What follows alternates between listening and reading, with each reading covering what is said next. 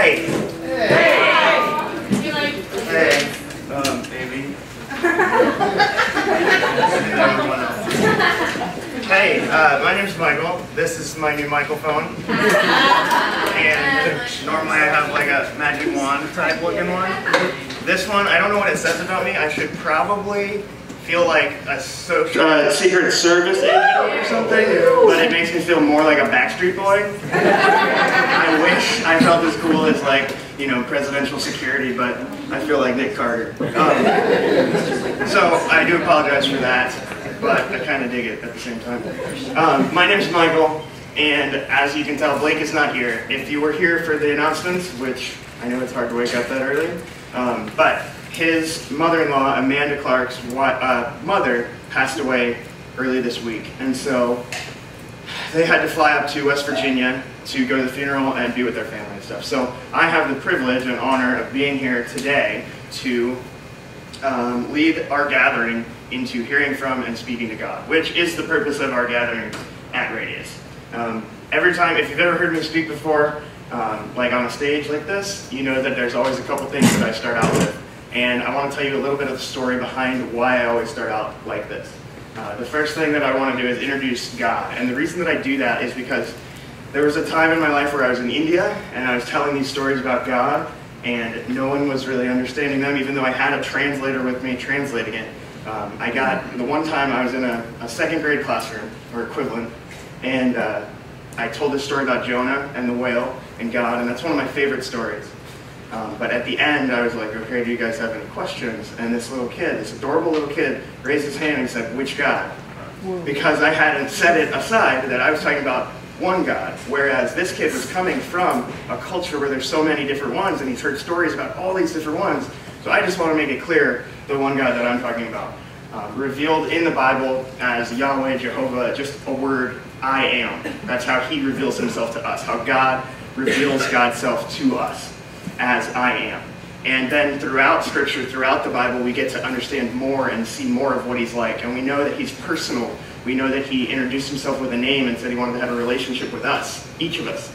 We also know that he is unbridled, undomesticated, free love. That's what God is. The Bible's very clear that God is love. So that's the God that I'm talking about. So if I use the term God, um, I'm talking about this specific entity in the world who created the world and the universe and gave your mind the capacity to love and your heart's the willingness to love. That's the God that I'm talking about, just so we have that clear. There's another phrase I'm going to use, which is Jesus, and that's a name, um, not a Mexican name like Jesus, but Jesus in uh, Hebrew. It's kind of like the equivalent of Joshua, something like that. And Jesus was a guy that lived in Nazareth he was born in Galilee and Nazareth and Bethlehem. You've probably heard the story. I'm not going to rehash all of it today, um, but we'll see on Christmas. we can go over that whole thing in detail. But um, he was born and he lived and he, uh, he was announced as the Christ. And so there's Jesus and then there's the Christ. The Christ is this thing that throughout the Bible was promised and said, this is what's going to reunite us with God. The Christ, the Messiah, both from the words uh, for oil, actually, for this anointing oil that they would put on the heads of kings. So Messiah is the Hebrew equivalent, Christ is the Greek equivalent of that anointing oil. Boring, shove it away in your heads for Jeopardy. Um, but those are the two words. So Christ and Jesus is proclaimed as the Christ, the one that's going to save us and the one that's going to reunite us with God. Because it's really easy to fall away from love. I'm sure we've all done that in our lives. We feel like we're separate from love. We feel like there's no love in the universe or in the world or in our own selves. And Jesus of Nazareth was the one who was going to embody, to incarnate God, love, on this earth. Does that make sense? It doesn't to me. It's a lot. It's a really big idea. But incarnation, infleshment, the embodiment, the personalization of love here. Jesus was here for about 33 years. He died and then he rose again. Then he went back up, that Christ went back up to heaven to be with God where the Bible teaches he was before he came on this earth for 33 years. Lots of big stuff that I will wrestle with for the rest of my life. So, I say all those things, and I know that they're confusing. They're confusing to me. But here's another thing I want to talk about, is God's chosen people he names Israel. Israel, name, the name actually means struggles against God. struggles against love. Love is a difficult thing. That's what we're talking about today, is love, and so I just want to struggle with it with you guys. Is that cool? Yeah. Awesome. All right. I want to start off, so now that I got through that, I want to start off with a little bit of a game. So this series is called Itty, and it's about how small things can become huge things and change our lives. If we have our priorities right, if we have increased capacity and generosity, our lives will bloom and become these big, gigantic, powerful things. So I'm going to start things off with starting a phrase or a song or a word, and then I want everybody in unison, because we're talking about unity, to finish it off if you can, okay? I'm going to start us off easy, because I mentioned Christmas. Rudolph the Red. Perfect, that was fantastic. Okay, this was a little bit harder, and I hope I can get my voice to do it correctly and you guys can follow along. Na na na na na na na na na na na na na na na na. Batman! Perfect, you guys are killing it. Next one, Luke, I am. That was good. I threw that one in there just for my own benefit. Alright, this one might need a prop. Are these microphones muted? Yes. Okay. This one is a little, you can keep them muted, please. All right, all right. Oh, Thank you, setup team, for being so good at your job. So I have to hold the microphone like this when I do this one. Let's get ready to rumble. Perfect. That was the one I was afraid you wouldn't get, but I'm glad you got it. So, the next one I want to do um, is for God so loved the world that he gave his only begotten Son, that whosoever believes in him should not perish but have eternal life. Well, what's next, like after the words? So that all will be saved. That's close. That's very, very close. Can we put up uh, John 3.17? For God sent not the Son into the world To condemn the to world, run the world, but the world might be be saved. through. That's hate. But there's that. Let's go back through it one more time, just in case we didn't hear it. So, God so loved the world that he gave his only begotten Son, that whoever believes in him should not perish, but should have eternal life. For God did not send his Son into the world to condemn the world, but to save the world through him. Meaning through God, through Jesus, through the Christ. Okay? So that's what comes next after that thing. Jesus, the Christ, was with God before time. Everything was created through him. And then in this 33 years of Jesus on earth, he embodied that Christness. Okay? And the point was that we should all be saved. We should all be redeemed by God into love with him. Okay, so that's where we're starting off today. We're going to go and look at the very, very beginning of the Bible, Genesis chapter 1, verses 1 through 5, I think it said. Uh, but we'll see it. In the beginning, God created the heavens and the earth. Now the earth was formless and empty. Darkness was over the surface of the deep, and the Spirit of God was hovering over the surface of the waters. And God said, Let there be light, and there was light. God saw that the light was good, and he separated the light from the darkness. God called the light day, and the darkness he called night. And there was evening, and there was morning the first day. So this is the very opening of the Bible, the very opening of the Scriptures. And what we see here, I think, is an analogy for all of our lives. Have you ever felt like your life, let's go back to verse 1, please. Formless and empty. Have you ever felt like your life was formless and empty? Have you ever gone to work for 8 to 10 to 12 hours a day and thought, uh, what's the point? This is, I really, there's another translation that says formless and void. Complete and utter chaos. There's no form. There's not even day for night. There's not even light and darkness. There's just ugh, nothingness. My life feels like that sometimes. I know your life feels like that sometimes because we're all people and we're all on this earth. So, what does God do? He speaks and he creates light. When he speaks, this formless void becomes light. And then there's darkness also, and they're separated. One is day and one is night. That's what happens here. God looks at the earth that he created, the world that he created, and he says, there needs to be some goodness here. So he speaks goodness into reality. And it becomes light. And so now there's evening and there's morning and there's a way to measure time and there's a way for us to track our days so we don't seem so formless and empty. You ever go to work and you look at the clock and it's only three, but it feels like five? this is why God created day and night, is so that we wouldn't think, I'm going to be here forever like I do around three o'clock at work. So, God speaks, creates light, and creates goodness. He begins this relationship with humans, with the creatures of this earth, so that he can love them and make their formless and emptiness into goodness and light. that starts all with this just one God speaking into the world to create this goodness and light. Then some things happen. Humans come about, and uh, we're on this earth, and we have a propensity to screw things up. I do. I hope you guys are in the same boat as me. I screw things up a lot. Um, so there's this human propensity to foul things up. And so we get our hands dirty and we make messes and we take this order, this day and this night, this light and this dark, this goodness and this badness, and we confuse the crap out of them. We make it so confusing that the formlessness comes back into our lives, right? So, what does God do? He speaks again.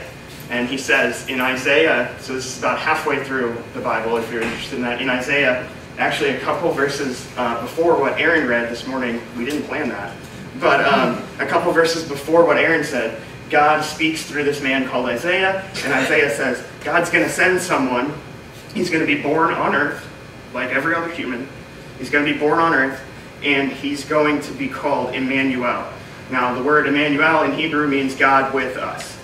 El being a name for God, God the Father, and Imanu meaning with us. Uh, the other name that you may have heard that's similar to that is like Manuel, another Mexican name. I don't know, they're so good at taking these Hebrew words and making them awesome names like Jesus and Manuel. Manuel would mean with God. So somebody who's on the side of God, Manuel. Emmanuel, God with us. God is with us. So there's going to be this person. He's going to be born like a human. He's going to be here on the earth. And he's going to be God with us. He's going to be the embodiment of this love, of this thing that creates order and light and goodness on earth. That's mind blowing, right? That's crazy for us to think, and it already happened. And we, a lot of us have faith that it happened, and it's still really crazy for us to think about. Now, think about if that was the headline the day you woke up in the Israel Morning Times, and Isaiah saying, hey, God is going to come to earth in the form of a human, and it's going to be God with us. God is coming with us. God is going to be with us finally again, just like when he created us in these stories, okay? God is going to be with us again. That's big news. Then what happens? 400 years of darkness and formlessness and void. When God says Jesus is coming, or Emmanuel is coming, and he's going to be God with you again. I'm going to be on the surface of the earth, hovering about the waters like I was in the beginning, and I'm going to be with you, but this time in the form of a human.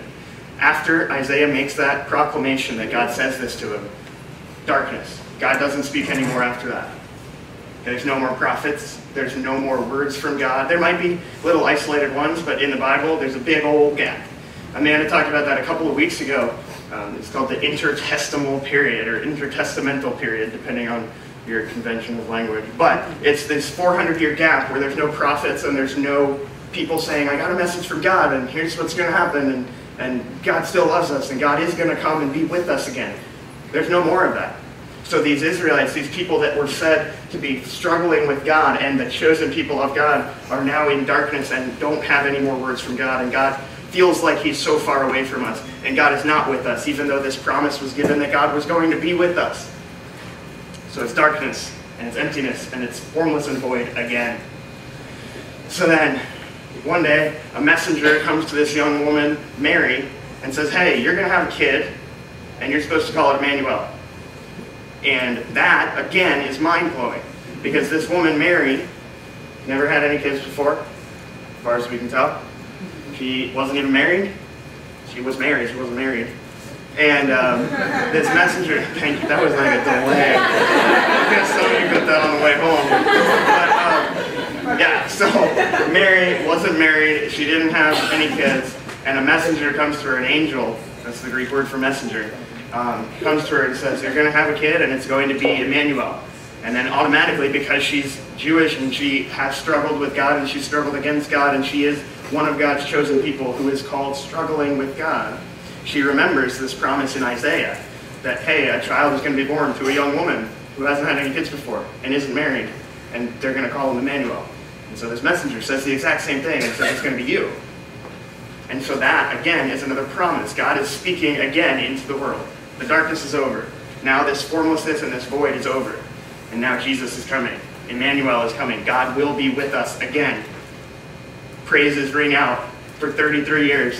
Everybody's confused. Jesus is here. He is the embodiment, the enfleshment, the personification of love of God. He is in unison with God. He is united with God. And he speaks as if he was the Christ, the one who is going, this cosmic force in the universe that is going to pull us back to God and be with us again so that we can be with goodness and light and love. Jesus is here. Strange thing happens. Jesus dies. Nobody expected that to happen because the other promises that people were saying were that he was going to be king, he was going to rule over this land forever, and there would be a thousand years of his reign, and it would never end. But Jesus dies. Jesus dies for three days. That's it. Most people that I know that have died have been dead since they died. Jesus was dead for three days. He comes back, says some things to his disciples. That's what we're going to focus on right now. I know there's a lot of lead up to that story. That's like thousands of years of history that we just blew through. We're going to focus on what Jesus says to his disciples after he comes back. Because he comes back, but then he leaves again. I don't know if you're aware, Jesus is not here on this earth anymore. He's not still walking around over in Galilee. He's not, he's not buried somewhere in a, in a grave. But we're going to get to that. Because what we are called is the body of Christ on earth. The church, our church, Radius, and the churches that believe that Jesus was the Christ is now called the body of Christ on earth. That has some huge implications. God with us. God was with us in Jesus. Right? He was here. He was doing the things that God does. What does God do? God heals. God provides. God forgives. God restores. God draws near to the brokenhearted. That's exactly what Jesus did when he was here on earth. Jesus is not here on earth anymore. Jesus, it says, the Bible says, is living in heavens at the right hand of God. He's not here anymore. He doesn't have a physical body like he used to in order to draw near to the brokenhearted, in order to feed, in order to provide, in order to heal, in order to love, to be that personification of God anymore. But what does the Bible say about us? We are the body of Christ on earth today. So, uh, let's go to scripture because I don't want you to just take my word on that. Romans 12 5 says, So in Christ we, though many individuals, form one body, and each member belongs to all the others. So in Christ we are created as the body of Christ. So now this cosmic force, this part of God that was the Christ, that was the redemption, that was the salvation, that was going to bring us in love with God, the Christ has no body anymore. It doesn't have Jesus' body. Does this make sense? Jesus was here. He was the Christ. He was the embodiment, the incarnation of God. Right? Jesus' body dies and goes up to heaven and is sitting there at the throne of God on his right hand. The Christ is still here. Does that make sense? The salvation, the redemption, the things that can turn darkness into light and make things in order and make love good and light spread like it did over the form of those, uh, over the formlessness of the waters before creation, just like it did uh, when Jesus was here and he was healing people by touching them, and he was spitting in people's eyes, and he was turning over tables. It can still be that creative force for salvation, for love. We're going to go to another verse, which is Ephesians 1 18 through 20. I pray, this is Paul writing to a church that he started. So it would be like, hey, Blake's in West Virginia, he's writing us a letter from there. Similar thought. So Paul is away and he writes to a church that he started in Ephesus. He says, I pray that the eyes of your heart may be enlightened in order that you may know the hope to which he has called you. He's talking about Jesus there, God. The riches of his glorious inheritance in his holy people and his incomparably great power for us who believe. That power is the same as the mighty strength he exerted when he raised Christ from the dead and seated him at his right hand in the heavenly realms. Um, the point that I want you to get, can we go back to the part that says the, the power is the same? I think it's like 19 maybe. So, um, I, I told you about Jesus being dead for three days, right? Then, suddenly he wasn't dead. He was alive again. He had, Christ had a body again. And it was here on this earth with us. It was God with us.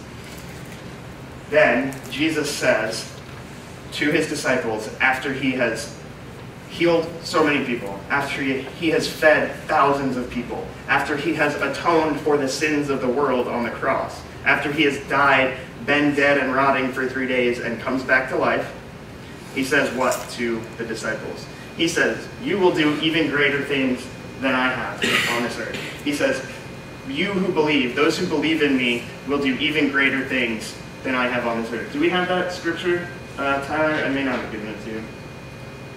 Let's try John 12, 14. Does that sound right? 14, 12? Yep, that's it. Very truly I tell you, whoever believes in me will do the works I have been doing, and they will do even greater things than these because I am going to the Father. Jesus says, hey, I'm out. I'm leaving. I'm not going to be here anymore. But you guys, you who believe in me, I tell you, very truly, I tell you, you will do the things that I've been doing and even greater things. Do you know why that is? Because there's more of us. Because we can unite. The, you know, 80, 90 people in this room can unite under that same power, just like it says in Ephesians, the power that rose Christ from the dead. Once again, that doesn't happen. Everybody I know that has died is still dead. The power that rose Christ from the dead is here, and those who believe have the power of the Holy Spirit. That's the Spirit of God. That is the Spirit of love in the universe, in the world, in all of creation. God. We have that. And Jesus himself, this person that we've elevated to be the most holy of holies, that says it's, he's sitting at the right hand of God, he says, You're going to do even greater things than me. That's wild. We need to unite so that we can. This is why I want to talk about unity. This is why unity is the last part of the Itty series, because it's another small thing. But what unity does is boosts up all the other three parts that we've been talking about. If you've been here, we talked about priorities. We talked about getting our priorities straight so that we can be more receptive to that Holy Spirit of God that gives us power and dignity and love in our lives. That's what priorities are about. We talked about capacity. We talked about opening ourselves up to, to take on that Spirit of God, to be able to receive from God those attributes love, dignity, justice, mercy, grace, increasing our capacity to have those things in us. Jesus had a wonderful capacity for those things. We as the body must unite so that our capacity can increase. Generosity. Jesus was so generous. Jesus was crazy generous. Jesus took things that he could have had. In fact, the Bible says Jesus didn't see uh, comparison with God as something to be grasped, but instead he gave it up. Jesus, who had the ability to be God, Jesus, this Christ force in the universe, could have just stayed in heaven. The Bible says in, I think it's Galatians, we don't have the verse, Tyler, so don't stress yourself out. Um, I think it's in Galatians, we can talk about that later if you want. God and Jesus were together, and the Spirit was up there in heaven, in the heavenly realms, as they say. And it says Jesus didn't take equality with God as something to be grasped, but he gave it up so that he could be here, so that he could be God with us, so that he could be the Christ on earth. And he did that. That's the most generous thing I've ever heard of. Uh, so, unity boosts all of these things up. When we are united in our priorities, when we're united and 80, 90, 200 of us are putting God first in our lives, our priorities will be straight. And that will change St. Petersburg, that will change the world, that will bring light into this darkness, and that will change this formlessness. It will change the formlessness that you feel at work, it will change the formlessness that you feel in everyday life, and it will reach out to change St. Petersburg from a formless, empty, void place into a place where there is goodness and light and Jesus. That's what will happen if we get our priorities straight and we are united in that capacity. Could you imagine if all of us together increased our capacity and devoted ourselves to receiving more of that love that Jesus embodied on earth? If we all united and decided, I'm going to increase my capacity to give and to serve and to lead and to put myself last? Generosity. I find those two really overlap for me, capacity and generosity, because the more we give, the bigger our buckets are to receive. So, generosity, could you imagine if we all became the most generous people on earth? You know what's funny is there's a park that I'm sure a lot of you know about a couple blocks from here called Unity Park. And I drove past it today, and there are there was probably 40 to 50 people sleeping in the grass, uh, drinking out of cans that are in bags. They were just they were in Unity Park, and it looked formless and empty. That's what formlessness and emptiness looks like today. Is people without homes that don't that that have been living in darkness, that feel like God is not with us. So here at Radius, we have what we call partnership. Partnership are our partners are people that have dedicated and committed to acting on the belief that God is with us. There are some commitments that they make. Uh, partners, they uh, sign this thing and read this thing and take this class about how if we are to be united, we are committing ourselves to serve, to pray, and to give. Generosity, capacity, priority. And so if you're interested in partnership class, I have to do this because I teach the partnership class. partnership class, the next one will be February 21st. Um, if you're interested in more, you can ask me later. That's not the point of this whole message, but I just want to throw that in there.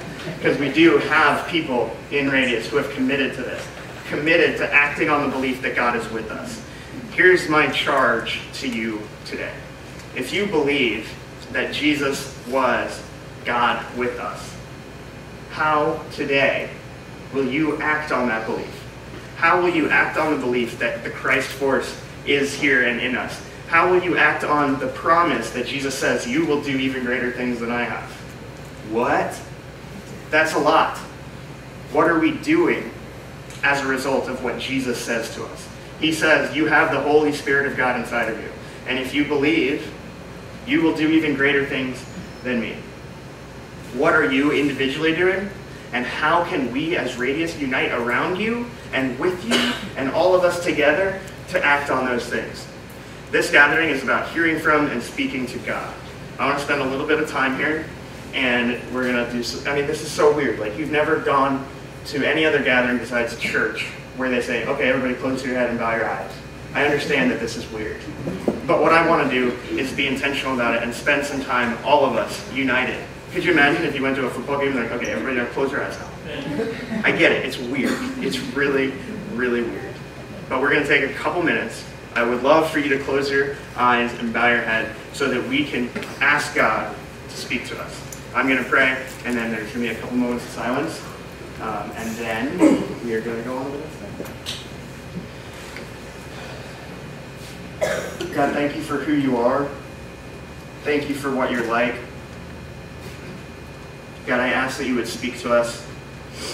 God, I ask that you would bring about change in our lives. God, I ask that we would be able to hear from you now, to hear how we can do these things that Jesus was doing when he was here on this earth, how we can embody your love, your salvation, your truth. God, I pray that you would plant into our minds in this couple of minutes just one idea, one itty bitty idea for each of us that we would be able to unite around. I ask that you would speak to us how each of us can create order and light in this world to combat the formlessness and the emptiness. God, I ask that when we do speak these things, when we do speak these ideas, when we bring these ideas up, when we start acting on these ideas, that you, just like you did with Jesus and just like you did when you created light, you would look at our ideas that you've given us and say, oh, that's good. We ask for these things from you, God. Please speak to us in these minutes.